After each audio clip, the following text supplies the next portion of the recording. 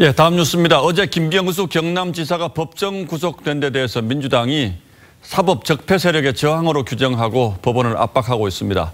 항소법원 그러니까 2심 재판부에도 사법농단 판사가 많다며 앞으로 있을 항소심 재판을 미리 겨냥했습니다. 어, 민변은 어제 판결의 재판장인 성창호 판사 탄핵을 검토하겠다고 밝혔습니다. 박재훈 기자가 취재했습니다. 더불어민주당 사법농단 세력 적폐청산 대책위는 서울 구치소를 방문해 김경수 경남지사를 접견했습니다.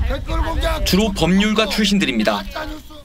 법정 구속은 최소화했던 해왔던 관행화가 비춰봐서도 이번 그 법원의 법정 구속은 매우 이례적이고 어 그 통상의 사례에서 벗어났다라는 것이 저희들의 앞서 민주당은 김 지사 구속 판결은 적폐 세력의 저항이라고 규정했습니다.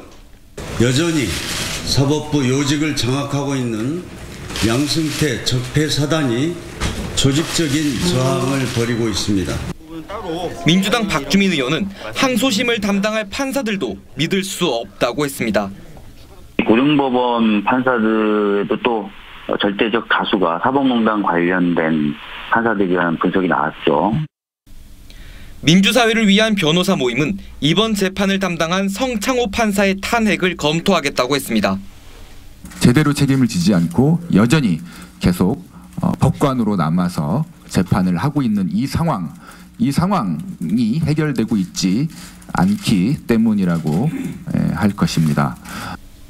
민주당은 사실상 재판 불복을 선언한 가운데 대선 정당성을 문제 삼는 한국당을 향해 이 정부를 흔드는 시도는 국민에 의해 또다시 탄핵당할 것이라고 주장했습니다. TV조선 박재훈입니다.